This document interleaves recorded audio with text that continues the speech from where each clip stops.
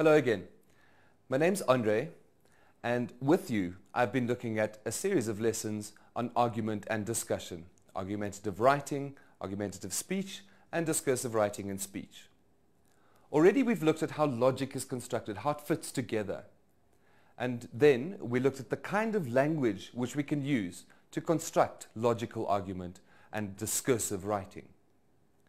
Our focus today is going to be on substantiating that argument and also providing example to help that argument.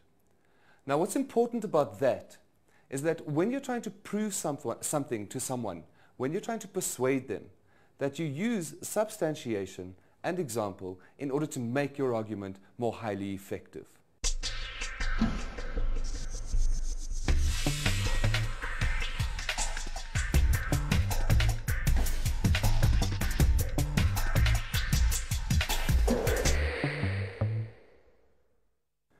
By the end of this lesson, you'll be able to substantiate each point of your particular argument and select examples which will strengthen your argument.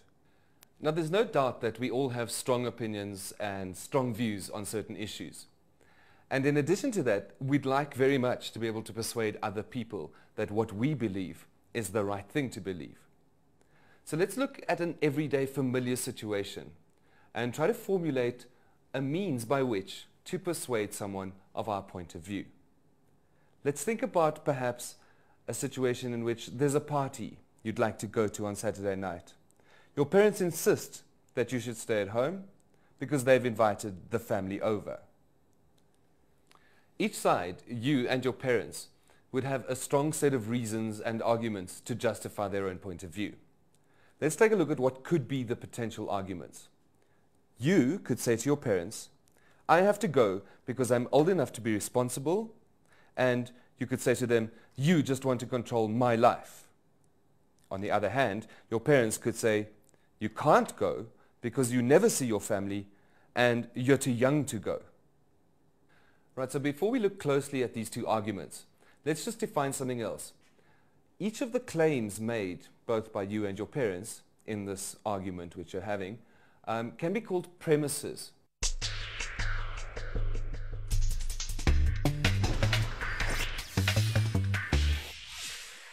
What a premise is, is a claim or a statement that has not yet been proven. In order to put forward a good argument, it's an idea to take the claims, the premises that you've made, and construct them into some sort of logical order, as we said before in lesson two. They need to follow logically from one another and build up towards a logical conclusion. And a good argument also has examples and proof to substantiate those premises.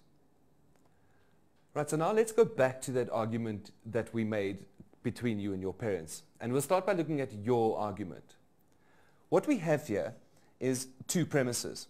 I'm old enough to be responsible and you just want to control my life.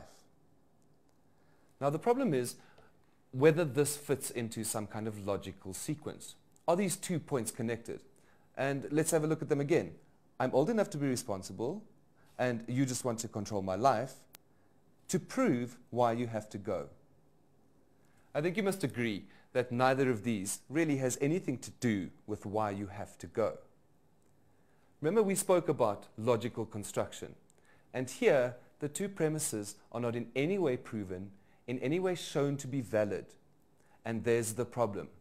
Hence we start beginning to need substantiation and some example.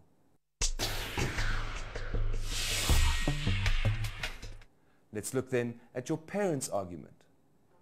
Right, so here your parents' argument, which reads, you can't go because firstly you never see your family, and secondly, you're too young to go.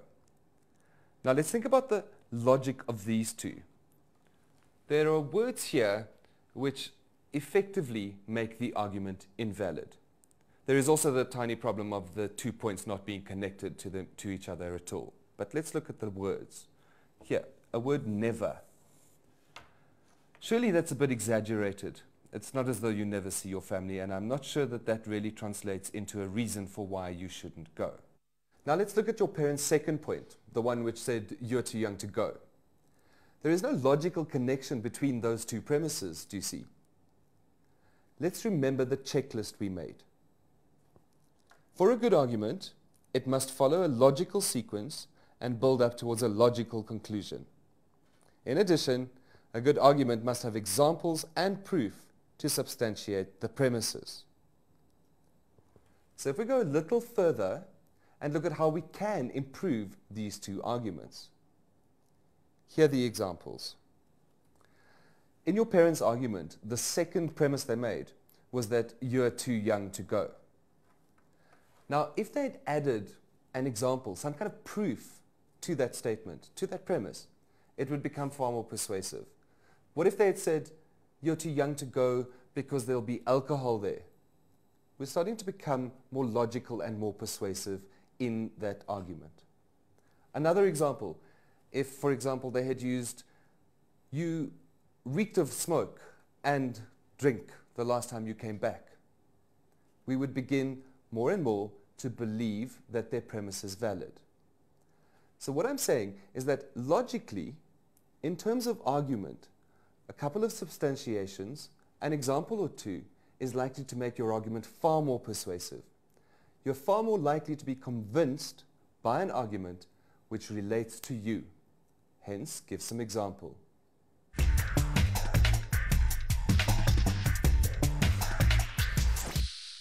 Right, so what we've discussed up to this point is how arguments fit together. We've talked about a flow of logical thought and how we need to create that logical thought to prove a point. There is also another error, though, that is possible when arguing.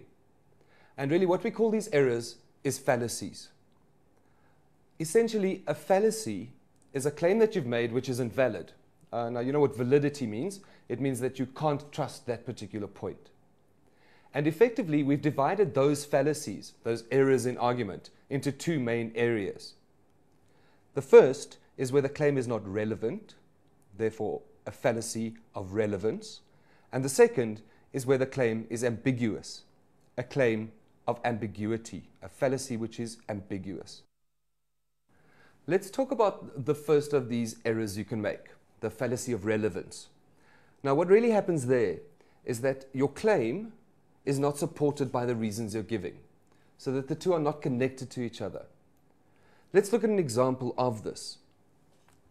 The South African soccer team beat Denmark on Saturday, so it must be the best team in the world.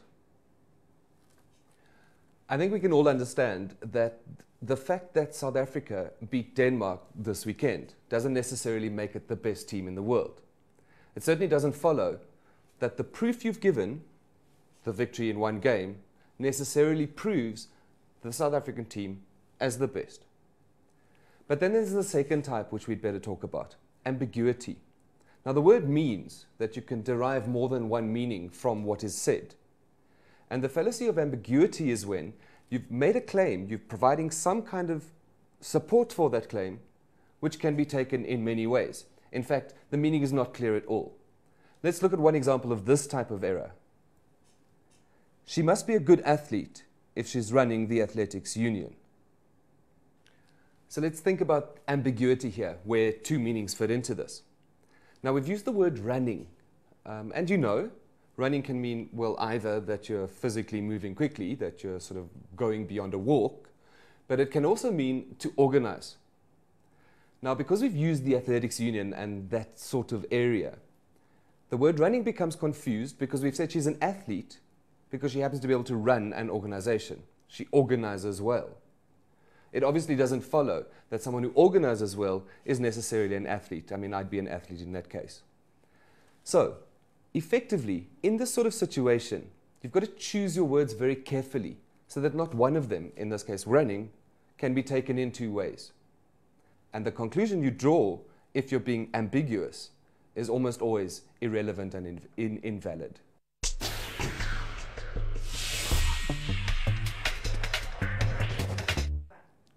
But before we go on, let's just recap the point we've just made. Be careful not to state a fallacy, a statement that is either irrelevant or ambiguous. So fallacies must be avoided. They tend to make your argument illogical or irrelevant.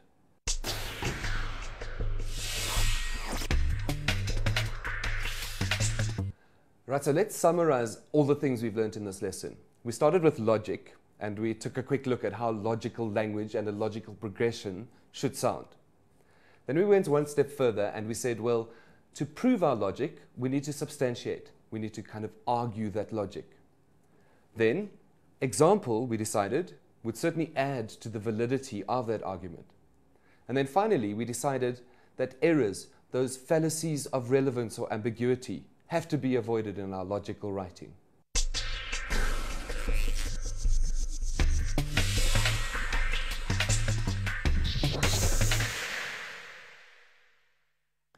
Right, so now you've seen logic and you've seen what fallacies are. We've seen where we make mistakes and we've seen how to construct good argument. Now I want you to look and decide whether you can recognize the logic and the fallacy on your own. Here's your task for today. Which of these statements is logical? The first one, I will be a lawyer because there are two other lawyers in my family. The second option, Cars do not need to be able to go faster as the speed limit is 120 kilometers an hour. And then the third one, no animals deserve to be in zoos since zoos cage animals.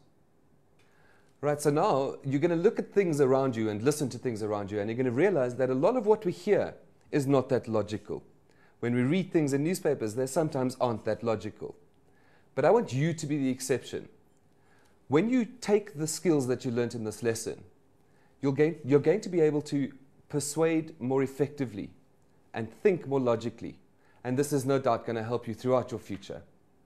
And that's all we've really looked at today, but I'll see you again for another lesson. Goodbye.